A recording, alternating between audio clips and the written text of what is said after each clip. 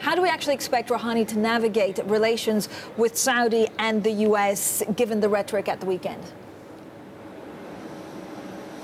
It's uh, going to be an uphill struggle. It's already quite a steep slope for Hassan Rouhani. He's been trying to sell the engagement with the West, which has been the platform and the very fundamental part of his campaign to his re-election. As you mentioned, a resounding victory, a landslide victory for him.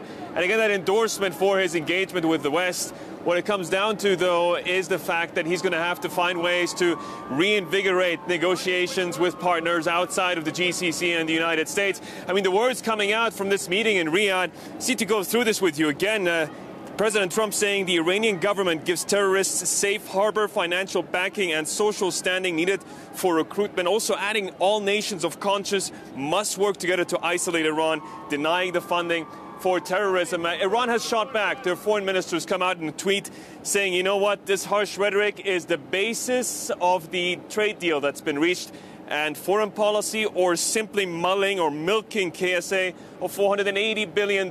Question mark is how Javad Zarif put it in that tweet. So uh, it becomes a lot more difficult now. And uh, ironically, uh, he had been campaigning on the platform of being more liberal, yet this latest result puts him in an even tighter corner. Yeah, you know what, Yousef? I was really struck by a Bloomberg View piece written by Eli Lake saying uh, Rouhani was the lesser of two evils, but Westerners vastly overestimate, this is an opinion piece by Eli Lake, vastly overestimate what an Iranian president can do. He calls him a fake reformer in a fake election. What will be President Rouhani's uh, challenges in the second term?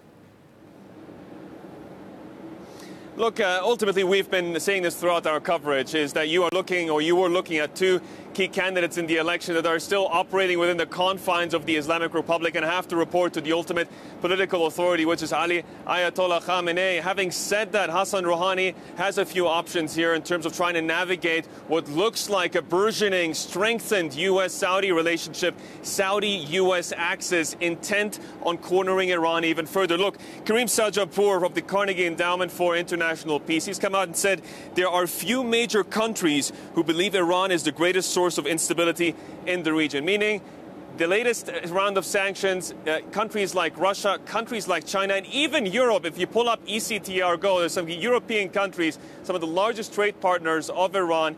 The EU foreign policy chief has congratulated the Iranian president, and they'll be intent on making even more deals going forward, arguably jumping on this uh, opportunity that's been created.